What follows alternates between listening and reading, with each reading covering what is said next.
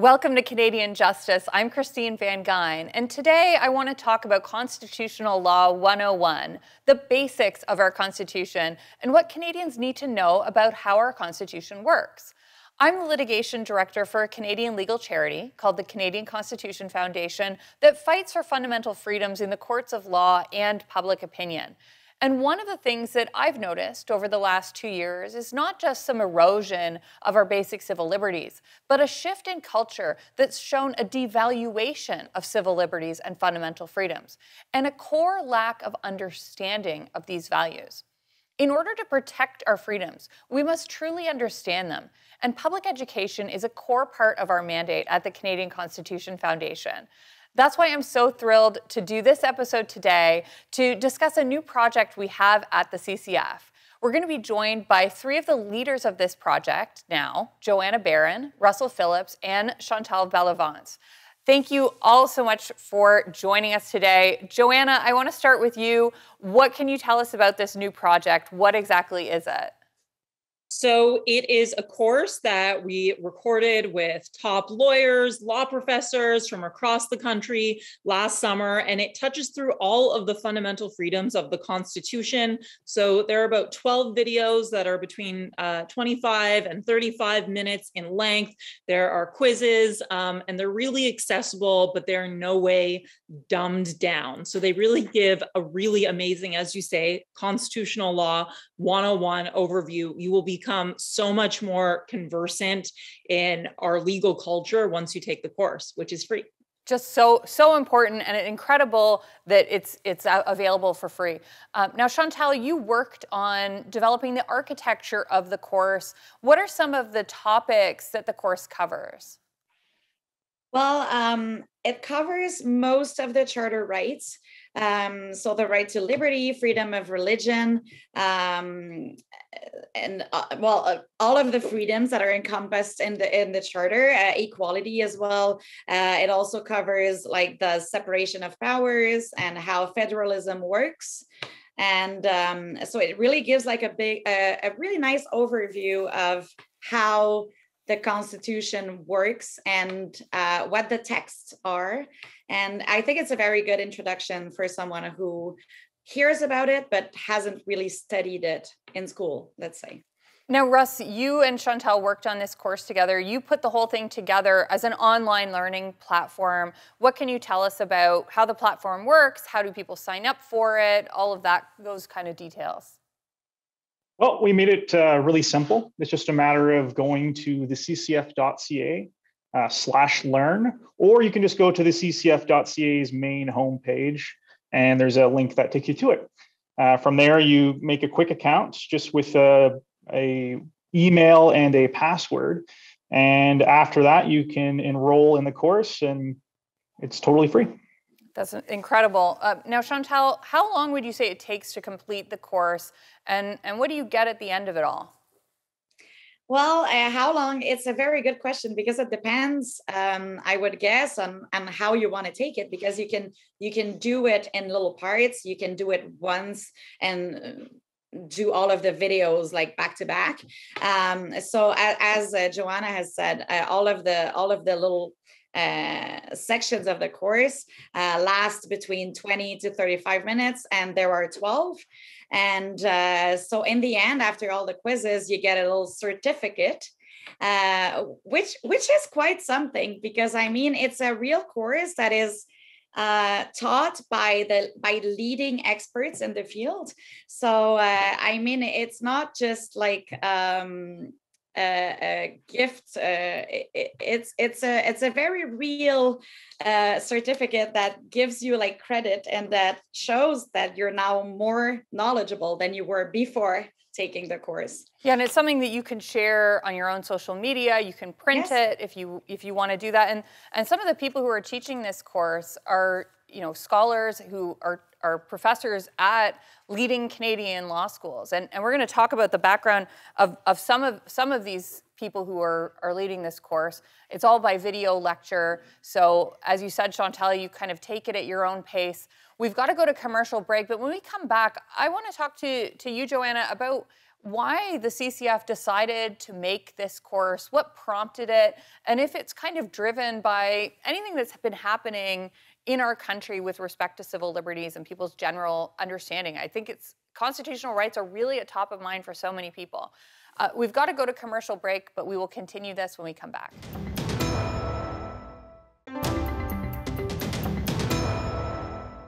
Welcome back to Canadian Justice, where we're discussing a new free online course that's being offered by the Canadian Constitution Foundation about fundamental freedoms.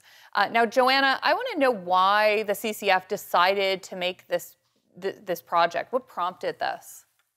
You know, I would say obviously since the pandemic started, there's been a huge emphasis on rights, but I would say by about spring 2021, we started to notice that a lot of people kind of thought the default was that the government could just kind of impose restrictions indefinitely, take, you know, whatever, uh, you know, draconian lockdown restrictions, whether or not they were justified. And we just wanted to come in and say, okay, we're not the United States where rights are, are absolute. We do have limitations on rights, which perhaps we'll talk about later in the show, but we also do have a constitution and we do have a framework of liberties. And we wanted to sort of get that out into the culture because if citizens aren't aware, they can't exercise their rights such an important point and i think that there's there's so much misinformation and, and misunderstanding about how our rights work and, and how our constitution works. So this is a really such an important education project now chantal the, the people as i mentioned in the last segment who are giving these lectures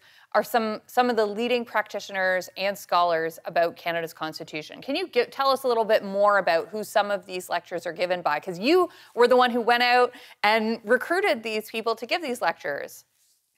Yes, indeed. Uh, it was quite the honor to get to uh, meet all of these people, uh, some, some of whom I had never spoken to before, but they were all very enthusiastic about the idea of participating um, which was amazing. And so uh, we have some leading um, pra- practicing lawyers, uh, such as uh, Asher Honickman, for example, uh, Kelsey Flanagan, uh, who's doing a, sec- a section on um, on sections eight to ten of the charter. Just for our viewers, at- what what are sections eight to ten? Those are. Can you explain what that, those are? Yes, of course. So they're in the section of the charter that deals with the rights of a criminally uh, of someone who's accused in the criminal justice system.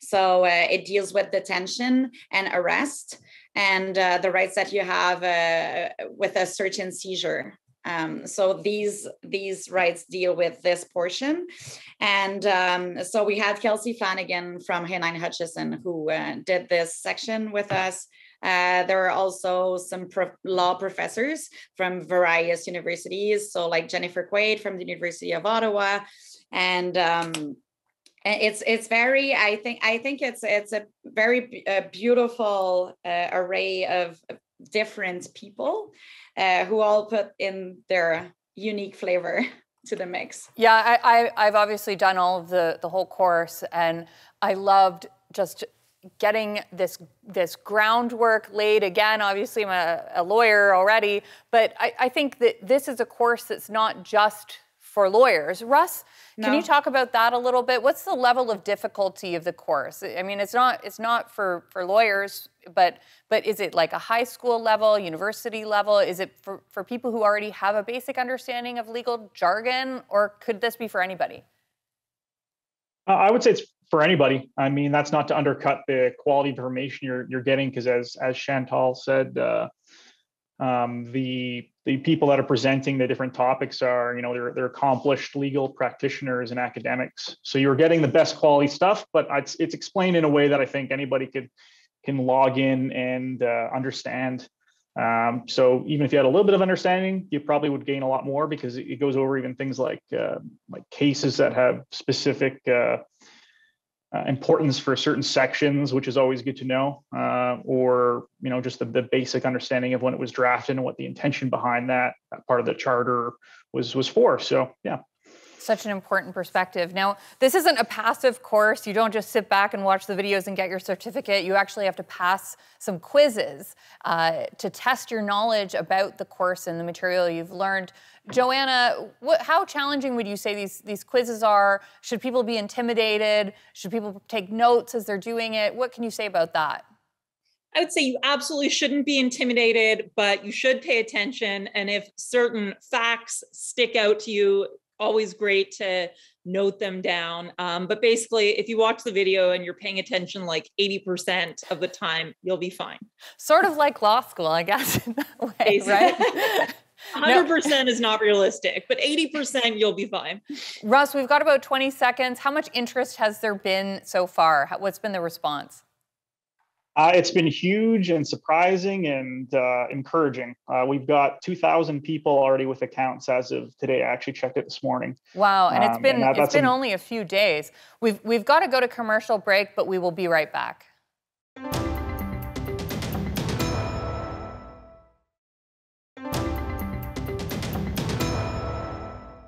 Welcome back to Canadian Justice, where we're discussing the new course being offered by the Canadian Constitution Foundation on Constitutional Law 101, which you can sign up for for free at the ccf.ca slash learn. Now, Joanna, I've noticed there has been a lot of misunderstanding about our fundamental freedoms and about our Constitution over the last two years. What are some of the common misperceptions that the public might have about our rights? So, on the one side, I would say that there's, uh, and I even have had to remind, I hate to say, lawyer friends of mine of this, that basically the structure of constitutional rights is they're held by individuals against the state. They don't just exist in some, you know, we don't live in a soup of constitutional law. I think probably the most common inquiry I've gotten, including from lawyer friends, is uh, about employer policies, for example, vis-a-vis vaccination. Well, employers are not the government. Um, even if the employer is the government in their relation to you as your as their employee, it is not a relationship of state exercising absolute power against an individual. So that's just basic misconception that I see all the time.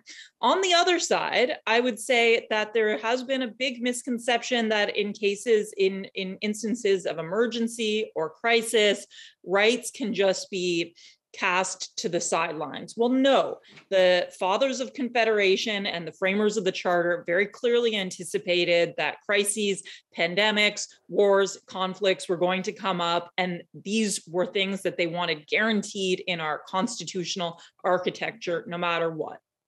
Yeah, I mean, maybe we should have sign up some of our political leaders for the course as well, because they certainly seem to have forgotten this.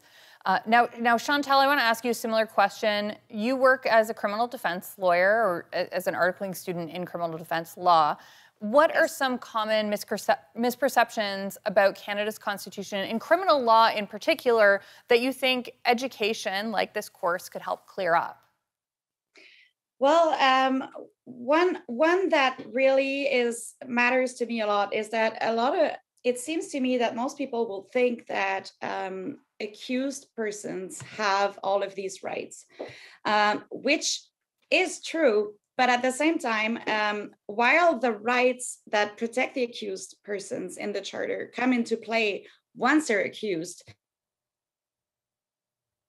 that anybody can can can have them in in life because um, if if if you get asked a question by a police officer, or if you get detained um, per uh, COVID restrictions or like per an, any type of uh, your your car gets uh, stopped uh, on the side of the road and you get asked questions and um, all of these things that can pretty much happen to any citizen uh, who's just living their lives. Um, you have all of these rights not to be detained, unduly detained, not to be arrested uh, without being um, there having reasons for the police officer to do so, because of the fact that these rights do profit to people who are accused of a criminal charge. So even though you aren't going to be accused of anything eventually, or well, who knows?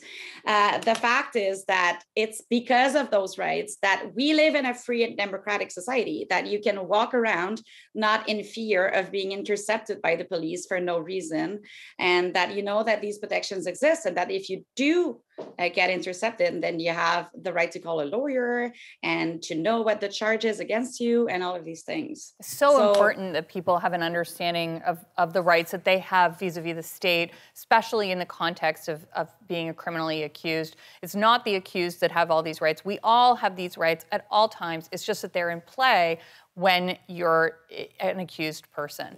Now, Russ, you, in, in your role as communications director for the CCF, you receive a lot of feedback from the public.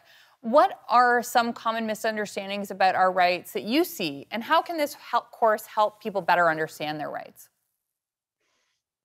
Yeah, I mean, most of the feedback I've been getting for this uh, this course has been extremely positive. Uh, but um, outside of that, sometimes you get uh, it, it's funny. You get messages from people who think uh, um, some of our claims are in, in favor of rights go too far, or other people who say that we're not doing enough. And there's always uh, there's always trouble with that, trying to, to, explain to people. And and probably first and foremost, the, the biggest thing is some people don't exactly know how the charter works and that it applies to state state actors specifically, and they they see their rights as being violated by uh, other private citizens, and that's not exactly how it works, of course. Yeah, such a such an important point, and such a common misperception that we see all the time. We've got to go to commercial break, but we're going to continue this discussion when we get back.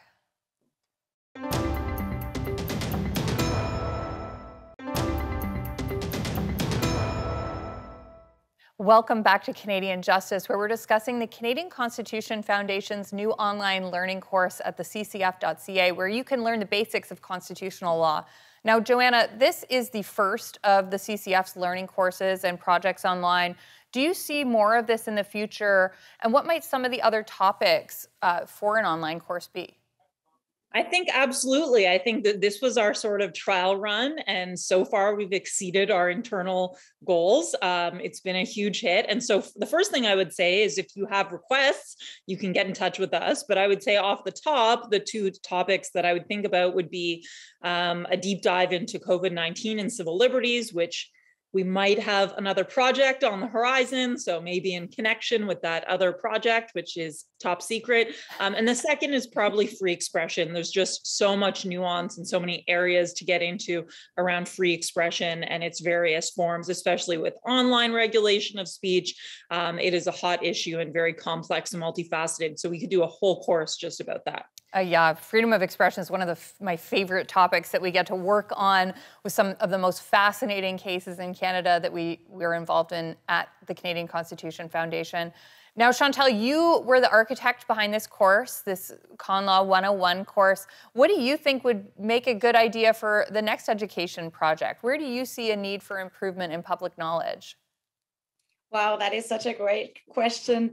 Um, I believe that there should be um i mean there there could be like further uh, involvement in um more like examples of how day-to-day life because like this course is really focused on uh, the theory and and it's very like constitutional law 101 so it's as if you got into law school and like went to the first day and like had the first class of every topic but like in an accelerated form. Um, but i think it could be nice for uh, to have more examples of everyday life and like to provide to put some links in between the course and uh, events that are happening right now and maybe like incorporate them a little bit more you know, when in the middle of COVID, when there was this temporary law that the Ontario government had imposed where police could just arbitrarily stop people on the street, one of the things we did at the CCF was we made a, a really short little brochure about know your rights if the police stop you. And that was so well received because it's really practical information for people about how to engage with police in a way that will be productive, but also not escalate things and preserve their own civil liberties. So um, I totally love your idea of giving people practical advice about how the Constitution affects them on, on a day to day basis, because these rights are not theoretical. These are real rights that, that people have in Canada. Now, Russ, this is the first online course that the CCF has offered, but it obviously is not the first thing that we've done in public education. What have been some of the other initiatives we've had at the Canadian Constitution Foundation? Well, we've been pretty busy, uh, particularly since the era of COVID began. Um, we've done uh, different types of things on our website where we've released uh, like legal education pamphlets, such as knowing about your rights when Ontario was experiencing, I think, its first or second lockdown. Um, we had a uh, life after COVID book we did in uh, in cooperation with a couple other organizations, which uh, talked about legal analysis of, of life after COVID and what we should be looking at constitutional perspective, I guess. And uh, one really good one we did was uh, grading our leaders, where I think it was in 2020 we had a, uh, sheet where we we graded the different provincial leaders as well as uh, the prime minister himself on how they uh, respected the Constitution during uh, this this pandemic. And, and we've done a number of town halls as well, which Joanna has led, sort of breaking down what's going on with COVID and our civil liberties. If those have been recorded, so if you visit the Canadian Constitution Foundation's YouTube channel, which you can find by just entering the Canadian Constitution Foundation in the YouTube search bar, you can find a copy of those town halls. That's all the time we have for today. I want to thank all three of you for coming on and sharing your expertise. Thank you. We've heard today about what the Canadian Constitution Foundation is doing to teach the public about the fundamental freedoms that we have in our Constitution. There's never been a more important time for Canadians to understand their Constitution and our fundamental rights. We are living in unprecedented times where government is taking new powers almost every day. In order to defend our constitutional rights, it's imperative that we understand them. You can sign up for free at theccf.ca/learn, and if you do, tag me on Twitter at cvangeyn and tell me how it's going. Remember, a freer Canada starts with you.